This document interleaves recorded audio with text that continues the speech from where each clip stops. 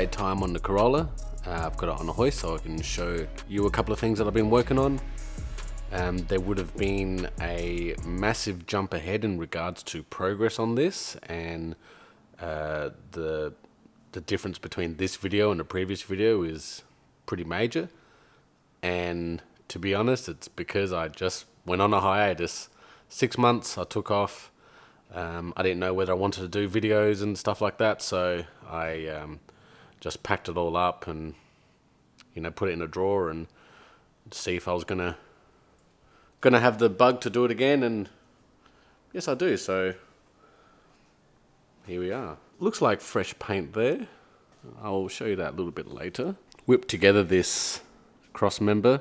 We still haven't cut out the floor for uh, the shifter but this cross member I, I, I didn't I did it in a way so it sort of tucked the gearbox up pretty high and left left more room here for uh, an exhaust pipe or a dump pipe or anything like that. So the way it was before, well, a I wasn't, I didn't really like it. I wouldn't have had it on my car, although it was strong. Uh, secondly, it was quite quite bulky around here, and that if you were to have a two and a half, three inch pipe underneath it, then it'll be dragging on the floor. So it's it's not finished yet. I've got to drill out these holes and um, weld a captive nut inside the chassis rail, but it works pretty good. Matt's happy with it. The, the gearbox is mated, the concentric slave is in with uh, my aluminium adapter.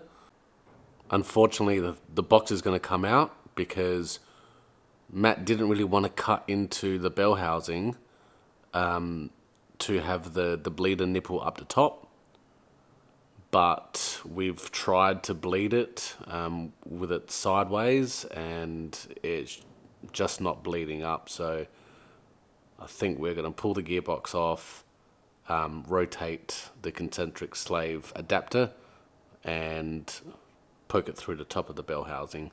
So the combination used to get this T50 out of an AE71 Corolla mated up to a 5K is a flywheel out of a 7K, a clutch kit for a 1.5 to 1.6 litre Corolla, 1987 to 2000.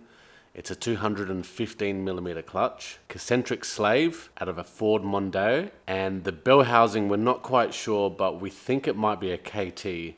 Um, not sure if it's Australian or imported. All we do know is it might actually be one of the rare ones and it seems to fit in there quite nicely. Don't think the person that did the sump realised that the um, engine was on a slant, so not quite sure whether we might need to source a, um, a different angle for that uh, turbo drain because it might pull right in the corner there. So as you can see, a lot has happened in the engine bay. I've uh, painted 2K uh, solid single stage. This is that custom color I had mixed up, which is should well should be a match to the original white. It matches pretty good. In fact, the only difference is the new paint looks so much more shinier and fresh. Really happy with it. There's a bit of junk in there, um, but what can you expect for a garage job? I haven't even cut and polished it, so I don't think we will be I mean, the original um, paint that was in the engine bay had runs everywhere, so it's better than that. Installed our new plaque ID plate there. Matt sourced some, I think it's garden tubing from our hardware store compared to the uh, the original tubes that were there. They were all green and gross looking. The Bosch drive-by-wire We've got our custom plenum in wrinkle black. It's all just sitting there at the moment. Turbo manifolds installed. Brand new turbo for this. This is the Garrett Boost Club line. The GBC 22350. So it should be good for 1 litre to 1.5 litres. Matt's really stoked of having that on board. She uh, fits quite quite nicely. Plenty of room. Just working out the bracketry for the LS1 coils. The 5K sitting in there. This is the fresh build. Matt took some parts to get gold zinc plated. I think they look pretty trick.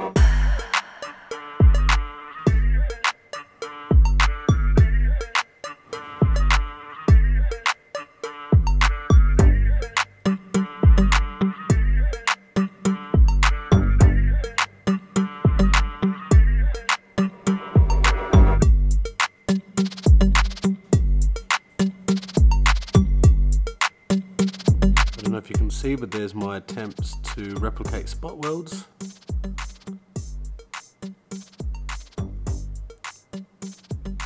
It's where I re-seam sealed. Instead of just slapping it on, I, I applied a nice bead and then smoothed it with a bit of uh, Prepsol. It's for a neater job.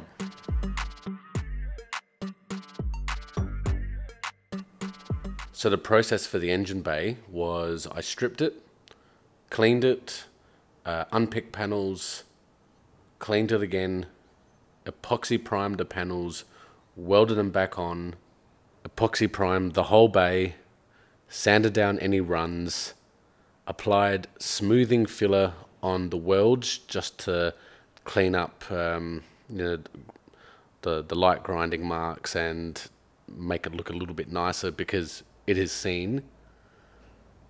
Another layer of epoxy, let that set, went over with high build primer, cut that down, and then went over with the, the 2K single stage.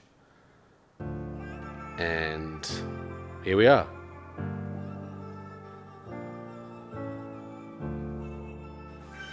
I'm gonna have to do like voiceovers because the girls are screaming in the background.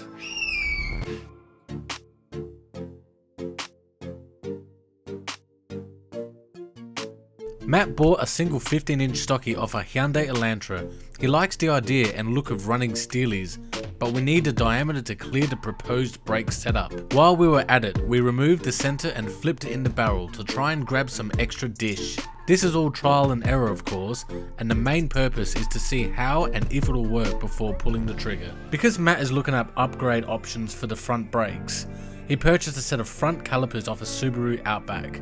The hub is off a KE70, so that changes the PCD to 4x114 to match the R31 diff he's looking at running. The rotors are vented 276mm late model mini discs.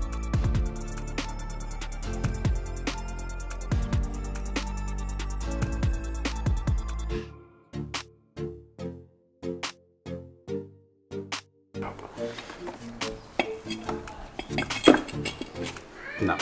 14's definitely won't fit.